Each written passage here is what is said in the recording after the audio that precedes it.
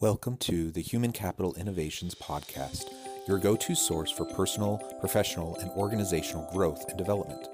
We hope you tune in often for all things people management, organizational development and change, organizational leadership, and social impact related. Maximize your personal and organizational potential with Human Capital Innovations Podcast.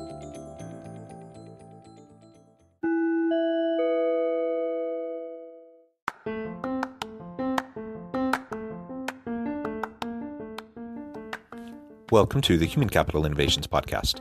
In this HCI podcast episode, I talk with Sarah Olin about supporting women to stay in the workforce and the idea of trickle down momonomics.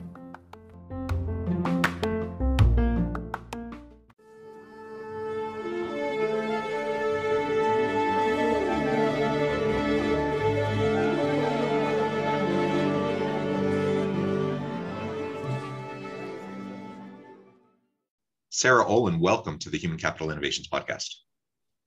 Thank you. Thank you for having me. Yeah, I'm super excited to have a nice conversation with you today. We're going to be exploring how we can better support women to stay in the workforce, generally speaking, but also uh, specifically and particularly when uh, taking maternity leave. And that so often disrupts women's careers and their progression in, into leadership roles and such. And so we're going to talk about your organization, Lumo, and what you do to help women stay in the workforce and this idea that you've coined as trickle down momonomics and what that really means and how we can better be supportive um, as organizational leaders of women and as you know uh, husbands and wives and partners how we can support each other as we're trying to uh, give everyone an equal opportunity to take on leadership roles and progress in their careers. And as we get started, I wanted to share Sarah's bio with everybody. Sarah Olin is the founder and CEO of Lumo, whose mission is to support expectant mothers through pregnancy, maternity leave, and their return to work.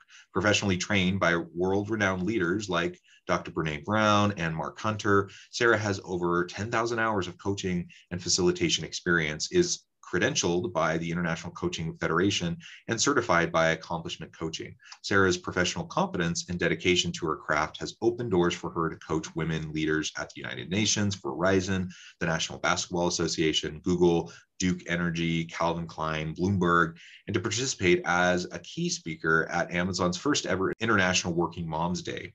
Regardless of the stage or space, Sarah pours love and humor into her work, helping women be happy and fully expressed, as well as living their lives of purpose. Thank you so much for joining me. Anything else you would like to share with listeners by way of your background or personal context before we dive on in? You know, it's funny, even though I work with so many women, I, I also work with men and find a lot of men. I've worked with a lot of professional athletes and um, head coaches for um, various sports organizations. So it's it's funny that uh, someone who has declared herself uh, a leader for mothers and women also we attract who we attract. That's that's just how it is. Yeah, interesting. And yeah, it is interesting to, to look at your client list and uh, some of the organizations you work with. And uh, the, the, the point is we, we need this work in uh, every sort of organization across the workforce. And it, it really is a huge gap. Uh, when we talk about pay inequities, when we talk about uh, gender disparities in leadership and all of those sorts of things, really what's at the crux of a lot of that there's a lot of reasons for it i suppose but what's at the crux uh, of it for a lot of people is what happens when people go on leave. Um, paid leave oftentimes uh, you know everyone would say yeah maternity leave paternity leave this is important. Go be with your your children take time for your family. And while we say those things it, it does actually uh, take a toll on people's ability to progress in an organization, to to move up in their career, to take on leadership opportunities, and those are all unfortunate outcomes that may not be the intent of anybody, but it certainly is kind of it's the way the system is built, and and we disadvantage uh, those who take uh, maternity and paternity leave. So maybe we can start with you um, dissecting that for us a little bit pull that apart and help us understand uh, what the issues are there, and then we can start to get uh, more into to what we can actually do to support women to stay in the workforce. Yeah, so there's there's a few different things, John, in that. One is that there's a gap in management and leadership around how to support people who are going out on leave. So um, I have a colleague that calls it the manager lottery, right? If you win as a woman and a mother, woo! And if you don't, you're you're left in the dark, right? So you've got all these fears, you have all these unknowns, right? And if you don't have a strong manager or leader to say, "Hey, I've got you back, your back. Let's navigate this together." You know, here's because lots of companies offer things, but people don't understand them. That no one takes the time to really say it's X, Y, and Z. This is how you access this program. This is how you win. And Lumo was created to actually give women the tools to succeed. It's there's so much lip service like you can have it all, you can do everything, but we're not actually given what we need to have that experience. And for many years I ran a program in my own private coaching practice that was a 10 month long coaching program. And it took women from, hey, I'm pregnant, to I'm back at the office and ready to go less mom guilt, less shame, less disappointment, feeling emotionally, psychologically supported, all the things. So before, during, and after mat leave. And what I've done with my team is create this 10 month coaching experience and turn it into an online program to support mothers in the workplace because it's a leadership conversation, it's a personal development conversation. And so often women are left to navigate it by themselves, right? They're even when we were um, in early stages of the program and beta testing, there were two really high level women in real estate development, and they were both pregnant and afraid to share because they were concerned that their male colleagues would you know win these deals because you know and so they're trying not to show that they're pregnant you know until the last minute. So it's just we think we've come so far and in certain ways we have but the numbers don't lie right? 43% of women off ramp at some point in their career because of family needs. 43% that is extraordinary yeah, and it's really disheartening. I, we have made progress, and more organizations have more established, well defined maternity and increasingly paternity leave policies and different uh, programs to support their people. All of that's wonderful. Um, it the needle has moved there uh, quite a bit. The problem is, to your point, that most employees don't actually know what's really available. They don't really understand how to utilize it. And even if and when they do, so let's say the company is progressive enough to have some of these policies in place, these programs in place, they're really good at communicating it and helping people know how to utilize it. The reality is, in most organizations, people are then still either implicit, you know, sometimes explicitly, but certainly implicitly discouraged from utilizing those programs. And they you just look around and you're like okay well i saw you know i know this this is an option for me but i just saw susan you know last year who took uh, maternity leave and i saw what happened you know when she tried to come back and i don't want that to happen to me. And so some of it's just the observation that i i look around and i see what's happening to other people. Some of it is you know the, the things that are said uh, even casually uh, those implicit things that are just kind of baked into the culture of the company that discourage people from taking advantage of the programs. And that is a very real problem that we still have a long, long way to go to, to address. Otherwise, it doesn't matter how many wonderful programs we have, it doesn't matter how many great policies we have. If we don't see it as a real safe option for us, then then you have these behaviors like hiding that you're even pregnant at all or, feeling like you literally can only you know take a few days off and then you're back in the office um, and those sorts of things and that's uh, again a problem for individuals, for their families, and for the organizations.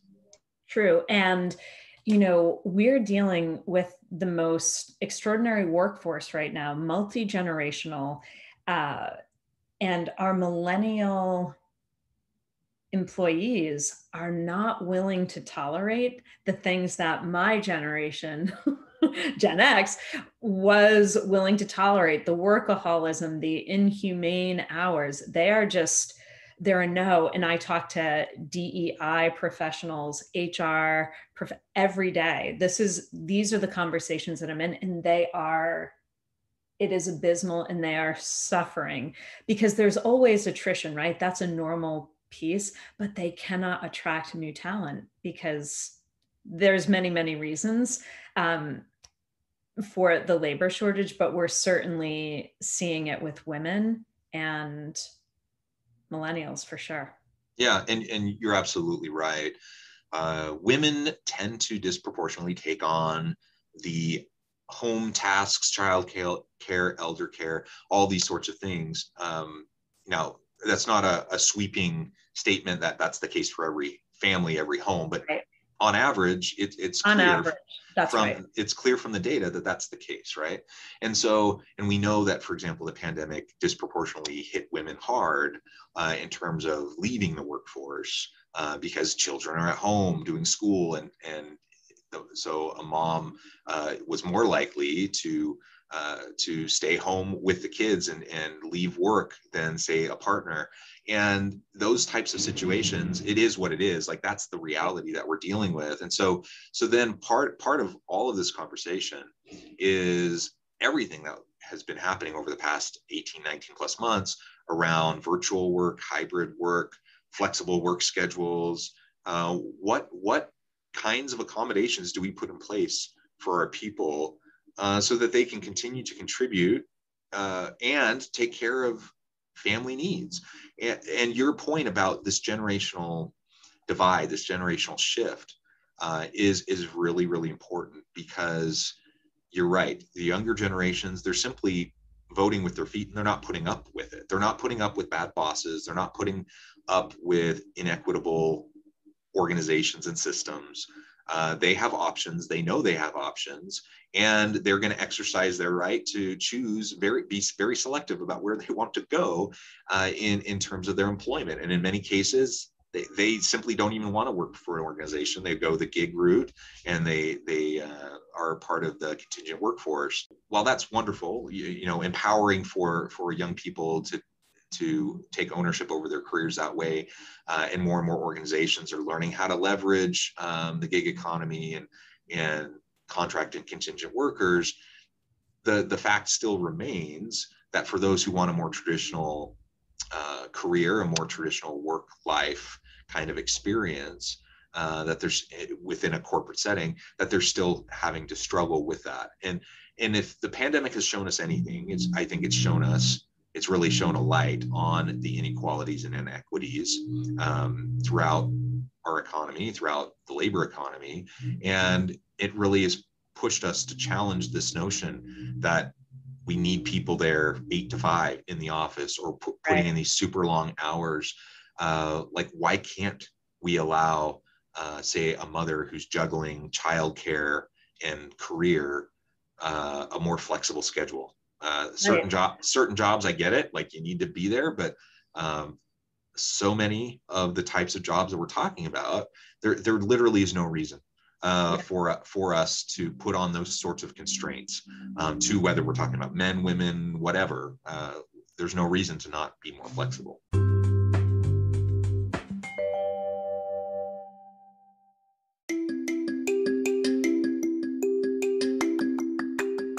I'm excited to announce the publication of my new book from HCI Press, Bluer Than Indigo Leadership The Journey of Becoming a Truly Remarkable Leader.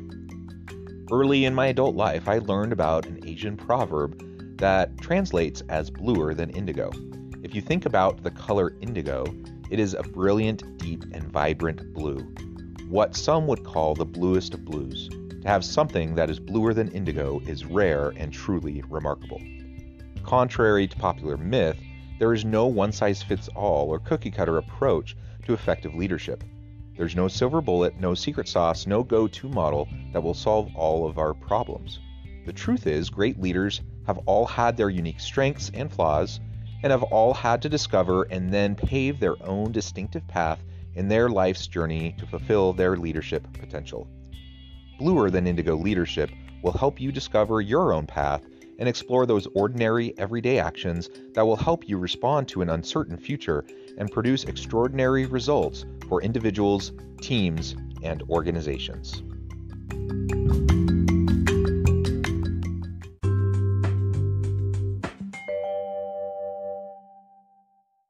You know, Brene Brown talks about um, one of these undercover shame based behaviors um, being nostalgia. And I think of it, you know, she talks about it as the good old days, but I think about it through the lens of attachment to how it used to be. And you know the old guard and the old ways of doing business right like if i don't see you you're not working that sort of like very old way of thinking and I think the pandemic proved that it's absolutely false. You know, I have a lot of clients in big law and in big banking, and in big law, they were afraid, you know, it's all going to fall apart. They made more money than ever. Same with the banks. So it only g- grew their business, right? Now, there are other industries that have certainly really suffered. But I know um, for certain, there's some big big conversations happening right now in Charlotte around you know these big organizations saying you have to get back to the office and people saying no we don't want to we won't do it. So there's there's a reckoning that's in process right now. And um yeah what are they calling it? The great resignation. Yeah, yeah. so it is it's really tough for people. Yeah and i have to admit i it kind of boggles my mind. I, I get the nostalgia, I get the more conservative notion um, of like, let's get back to work in the more traditional sense. I get those feelings. I get why people are espousing them.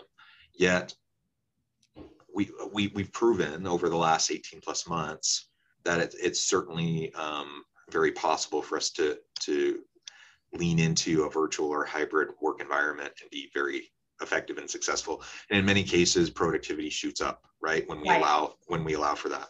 But john what happens to these old school leaders if we say you know this new way works right? The biggest fear in any organization and for any employer is the fear of irrelevance right? So if that contributes to their irrele- they're going to fight it to the it's it's all fear based conversations. Um so I, I have compassion for it and it doesn't change the fact that it absolutely needs to change in order for the world is changing every day. Their clients are changing. That the work you know the way that people work is changing and either we adapt or suffer. Yeah yeah absolutely. Um, uh, something else i wanted to touch on uh, and i know we've kind of already been discussing this, but there's this idea of trickle down momonomics um, that that you like to discuss as a part of the the Lumo um, organization and your work. Describe that a little bit for us, and then we can start to tie that back into what we've been discussing. Sure. So um, we assert that in motherhood is the only place where trickle down economics actually works because if mom is sourced everyone around her does better. Mom is a generous, giving being an entity. So when there's a lot going into mom at the top of the family, um, everyone wins. So this is our theory of trickle down momonomics. It works for employers to have their women and mothers well resourced. Um, it works in the family structure. Um, works in communities, it's fabulous. But oftentimes, the gap is the trouble that they're working from a nearly dry well. So you get what you get. Yeah. So so how do we fill that well? How do we um, support and put resources towards um, working moms uh, so that they feel like they have what they need in order to be supportive of you know uh, in the ways that they're they're so wonderful at being supportive in you know I think it's so much simpler than people think it is. I think people get intimidated. It's going to be so much money. It's going to be, we can't do it. Then it's going to be crazy people in the streets and, you know, there'll be a revolution, you know, Hunger Games. No, I think it's very simple. We're, um, we're doing this program for a company in Seattle, uh, our parent caregiver support network. And you know, we present topics, we lead conversations, and these parents show up and get so much from hearing each other. It's about connection and community, but finding out what do people need. And usually it's love, support, reassurance. It's easy stuff, right? But we've got to be willing, we've got to trust our people, we have to invest in our people. And this is the thing that I think young companies, tech companies, really savvy startups. I've worked with so many startups because they know that their people are their most valuable resource. They're willing to put their money where their mouth is and not just say, we care about our people at the expense of our people, right? Yeah. Where they're right. So it's, you know, I talk to these young founders and they are putting their money where their mouth is. And that is so important. Yeah, I mean, I, I'm a big believer in the power of language and the power of narrative, and and those things are important as a starting point. Uh, right. You, you, do need to be able to to say things that um, create an environment where people feel like they can start to move forward into those the, those spaces. Um, so having a good narrative and having um, you know being thoughtful about the language you use that's very important. But ultimately if it's not embedded and baked into the systems the policies practices procedures of the organization and ultimately the culture of the organization then it's not actually going to mean much of anything uh, to the people in the organization. And so i can say all day long with the best of real intent in my heart that i want to be supportive and helpful and i want to give women equal opportunity and all those sorts of things. I can mean it from the deepest depths of my heart. But um, if i'm not actually you know putting it into practice then it's not going to mean much of anything. It's not going to do anything or shift uh, the, the the it's not going to move the needle in terms of these types of gaps that we've been talking about. Right. Something about the road to hell is paved with paved with good intentions? Something like that. Yeah yeah absolutely. So ultimately we we just need to be more thoughtful about uh, the processes within our organization be more thoughtful about the tradition and the norms within our organization challenge those things that need to be challenged. Just because we've always done it that way doesn't mean it's the way we need to continue to do it. Right. um, and if ever there was a time to do that it's it's kind of this disruption that we've all felt over the past 18 plus months we definitely need to continue those conversations and not get lulled back into the sense of okay things are getting back to normal. Finally things are getting back to normal and we don't have to like be um, rethinking things anymore. No i think i think this has shown us that we have to always be rethinking. Um, we always need to be rethinking. We always need to be willing to pivot and adapt. And ultimately if we want to be supportive we have to do more you know we have to walk the walk not just talk the talk and put our money where our mouth is in terms of resources in terms of energy and time and all of those sorts of things. Uh, and i love the idea of, of your theory of trickle down momonomics yeah put put energy in resources and support into um, working mothers help them to know that that they're supported and that you're genuinely there for them. Uh, give them pathways easy accessible pathways right. um, to take the needed leave and to re-enter the workforce without it disrupting um, their career with without disrupting the the uh, the leadership um, pipeline of the organization there's no reason why that needs to happen it's an no. artifact it's an it's an artifact of a of a of a broken past uh, and we don't need to perpetuate it true and becoming a mother makes you infinitely more resourceful. And just, we say it's the next level of leadership, motherhood. Yeah. I love it. Well, Sarah, it has been a real pleasure talking with you. The time has flown by. We're getting close to the end of our time. But before we close today, I wanted to give you a chance to share with listeners a little bit more about Lumo, how to get connected with you, find out more about what you and your team do, and then give us the final word on the topic for today. Yeah. So the best place to find us find us is lumoleadership.com. We're on we're on LinkedIn, we're on Facebook, we're on Instagram. Um, and we've got lots of amazing free resources for mom. We have a killer newsletter. Um, there's a real opportunity um, for women to to advocate for what they want and need and to make requests and to make demands.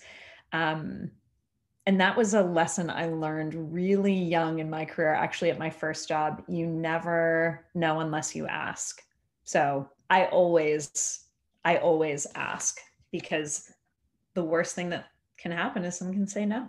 So ask for what you want and need. Yeah advocate for yourself advocate for others around you uh, and the fact that you're speaking up about a need chances are there are many other people that have the exact same thing but don't feel safe uh, to mm-hmm. speak up in the way that you're doing so so your your willingness to speak up and be an advocate for yourself will uh, by extension be you're being an advocate for others around you and for for others like me uh, you know i'm a man i'm having i'm part of this conversation but clearly um, i need to to help and assist and be an ally in breaking down the the unhealthy systems and to rebuilding more appropriate systems and structures to be supportive of women. Anyone listening, um, this isn't just a women's issue. This is a this is a us issue, and we all need to be a part of the solution. And we can do it. I truly believe that. Um, we just have to uh, put time and energy into it. Be thoughtful about it. And if we do, we can truly leverage and utilize all of the human capital that we have within our organization. That's going to certainly help the individuals, the individual team members to have more fulfilling uh, jobs and careers, but it's also going to help the organization uh, to to maximize the human capital potential of, of the organization and have stronger, more dynamic teams, and to ultimately uh, be more creative and innovative and more competitive in a hyper competitive globalized marketplace. Ultimately we can do it. It's in our best interest to do it and it's in the human interest that we take care of our people. Uh, so mm-hmm. let's let's do it. Sarah it has been a real pleasure. I encourage listeners to reach out get connected find out more about what you and your team can do for them. And as always i hope everyone can stay healthy and safe that you can find meaning and purpose at work each and every day. And i hope you all have a great week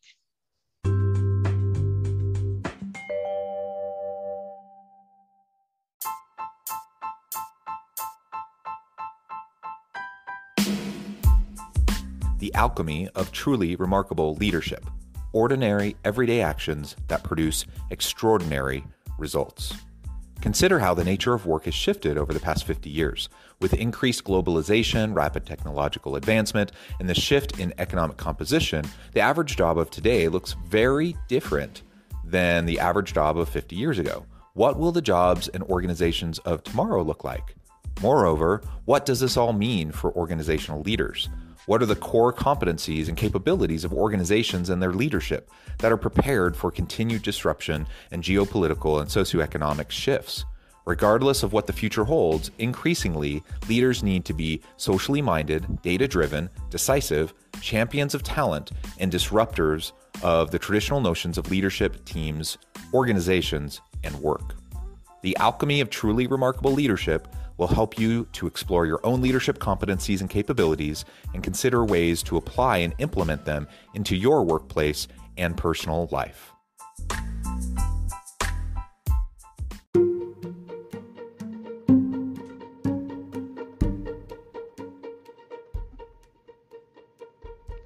Check out Human Capital Innovations magazine, Human Capital Leadership. Human Capital Leadership is a free, interactive e magazine with the mission to help individuals, leaders, and organizations find innovative approaches to maximize their human capital potential. We publish issues quarterly in August, November, February, and May. Take a look at the latest issue and let us know what you think.